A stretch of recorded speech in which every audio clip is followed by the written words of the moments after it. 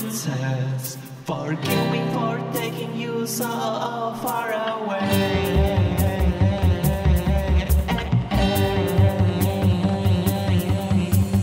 You might be calling me crazy, but I am not. Welcome to Canterlot.